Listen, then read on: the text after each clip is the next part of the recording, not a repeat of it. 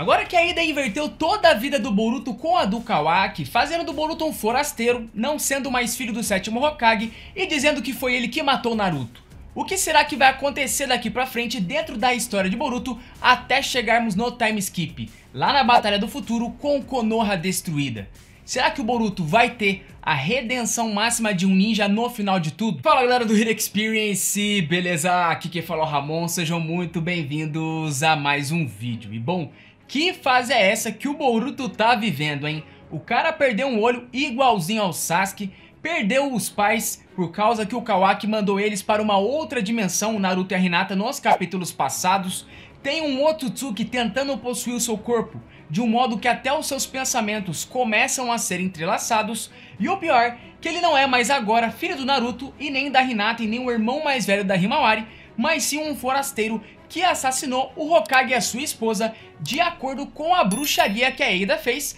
nos revelando uma de suas habilidades lendárias. Só que por mais que o Boruto esteja agora, né, quase que no modo solo, já que tudo e todos estariam contra ele, o que será que vai acontecer daqui pra frente? Quais serão as suas atitudes? Quem vai ficar do seu lado? Quem vai ficar contra? Eu acabei listando aqui pra vocês algumas coisas importantes que vão acontecer nos próximos capítulos até chegarmos né, na emblemática luta dele contra o Kawaki no futuro de Konoha toda destruída.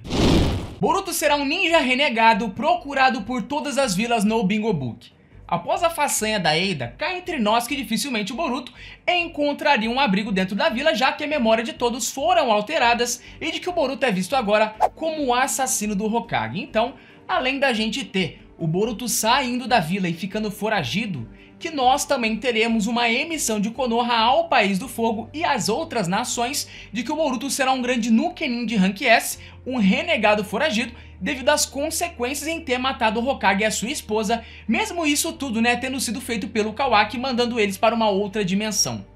As outras vilas com certeza devem pedir a cabeça do Boruto como recompensa e uma nova reunião dos cinco Kages, já que o Naruto dificilmente voltará cedo. Sarada e Sumire serão os olhos de Boruto em Konoha. Apesar da Ida ter alterado a lembrança de todos, dizendo que foi o Boruto que matou o Hokage de que ele agora é apenas um invasor dentro da vila, que por outro lado, parece que a Sarada e a Sumire não foram afetadas pela habilidade divina da Ida, de acordo com as palavras também do Momoshiki. O motivo das duas não terem sido afetadas pode estar relacionado de que elas possuem uma paixão imensa pelo Boruto, que é 100% Otsutsuki, de modo que isso né, acabou fazendo a técnica divina não surtir efeito, já que nos capítulos anteriores a gente teve também a habilidade de roubar corações da Eda, não funcionando contra elas. Um dos maiores mistérios daqui pra frente é saber o que a Sarada e a Sumire vão fazer agora que o Boruto vai ter a vida de um ninja renegado, afinal eu acredito que por mais que elas tenham toda essa paixão pelo Boruto, do qual fez até as habilidades roubadas da Eda não surtir efeito, que elas dificilmente sairiam da vila pelo menos por agora, já que isso levaria muitas suspeitas de que elas estariam ajudando um renegado que matou o Hokage e a sua esposa. Então, ao que tudo indica, pode ser que a Sumire fique em Konoha normalmente, trabalhando com o amado Yukatatsuki, né, como é de costume nessa parte laboratorial, e de que a Sarada encontre de tempos em tempos Boruto para avisar sobre tudo o que acontece na vila até que ele consiga reverter toda essa arapuca que a Eida fez, sabendo ainda por cima né, que eles têm agora o Code com um novo exército como inimigo também. Quem vai ajudar o Boruto a encontrar um abrigo agora que ele perdeu tudo como o Momoshiki havia profetizado?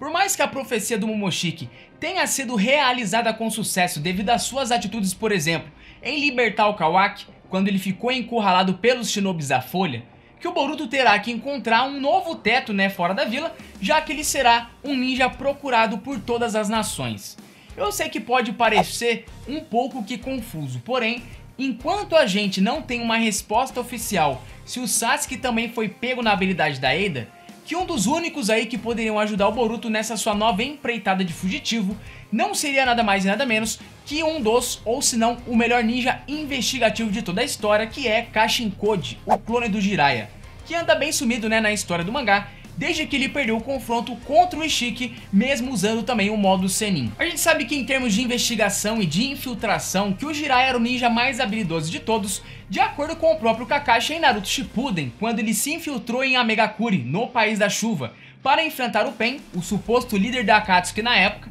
e também de ser tão inteligente e perspicaz de saber naquele arco do futuro do anime de Boruto que os artistas viajantes, que eram Sasuke com aquele tapa-olho né, e vestido como uma espécie de inspetor bugiganga assim como Boruto, que eles seriam do futuro. O próprio Jiraiya na época, antes de ter a sua memória apagada pelo Sasuke com o Sharingan, que ele havia dito né, que não queria saber de muitos detalhes por causa que mexer no tempo desencadeava em consequências absurdas. Então, não é por menos que o Kashin Code poderia ser sim um grande braço direito do Boruto nessa sua nova vida de fugitivo, já que aí possivelmente nós teríamos o Boruto treinando com o Kashin Code, trazendo uma nostalgia similar do que aconteceu do Naruto com o Jiraiya em torno do clássico e do Shippuden, descobrindo também por onde ele andava né, todo esse tempo, desde a luta contra o Ishiki e se ele possui também as memórias do Jiraiya.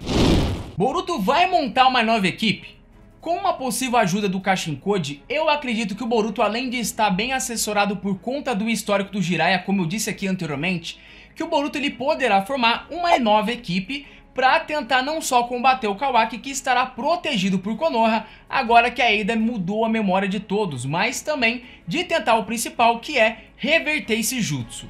Em Naruto Shippuden, nós vimos que o Sasuke ele montou o time Reb e o time Taka quando ele se juntou a Akatsuki para facilitar os seus objetivos. No entanto, mesmo Boruto ele sendo um discípulo do Sasuke e tendo a vida de renegado igualzinho também a do seu mestre e ao irmão do seu mestre que foi o Itachi, que é bem provável sim que o Boruto ele monte uma equipe de confiança até a chegada do dia D pois assim facilitaria né, e aumentaria muito a distribuição e a efetividade de realizar os seus objetivos, que são gigantescos, porque a missão agora será diferente de tudo que eles já viram.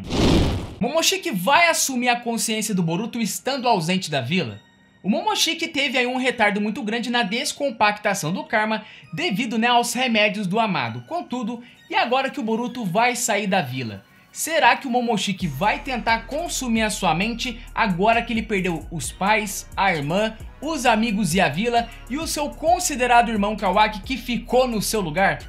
Eu confesso aqui pra vocês que por mais que muitos né, tentem ver o Boruto como uma espécie de Naruto e Kurama, com o Momoshiki cooperando com o Boruto em certas partes, que isso dificilmente vai acontecer. Pois o Momoshiki até agora, né, pelo que parece, por todo o histórico que rolou, Apenas o Momoshiki ajudou o Boruto em certas ocasiões, por causa que o dele estava na reta. É bem provável daqui pra frente que o Boruto ele ganhe uma dupla personalidade como uma espécie de saga de gêmeos dos Cavaleiros dos Zodíacos, como uma hora né, o Momoshiki tomando conta da sua mente e controlando seu corpo, e em outros com o próprio Boruto no controle de tudo. É claro que isso, né meus amigos, é apenas um mero palpite devido ao cenário atual que estamos lidando por enquanto apenas dentro do mangá.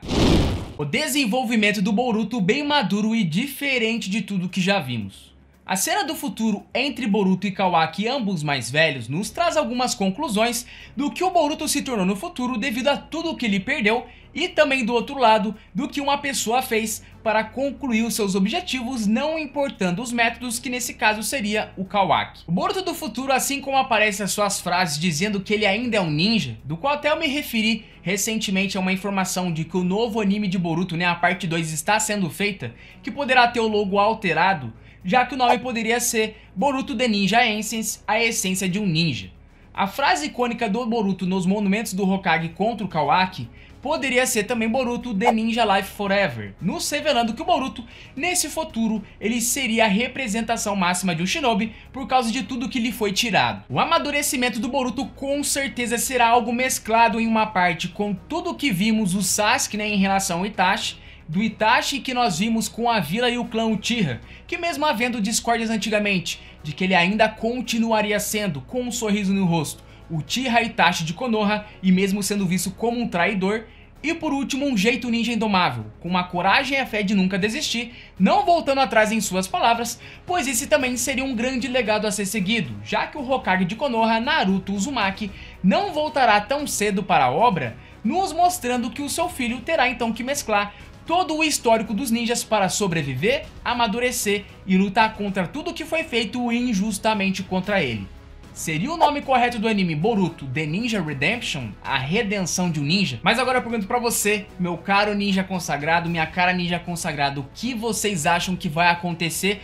agora que o Boruto será um ninja renegado? Será que vai acontecer todas essas coisas que eu listei para vocês? Vocês acham que vai acontecer outras? Comenta aqui embaixo o que você acha que vai acontecer tudo nos comentários. Não esquecendo de conferir a nossa aba de Seja Membro para você apoiar o nosso trabalho apoiar o canal, de você se inscrever, deixar o like que é muito importante, compartilhar com seus amigos, já que agora nós ficamos todos por aqui.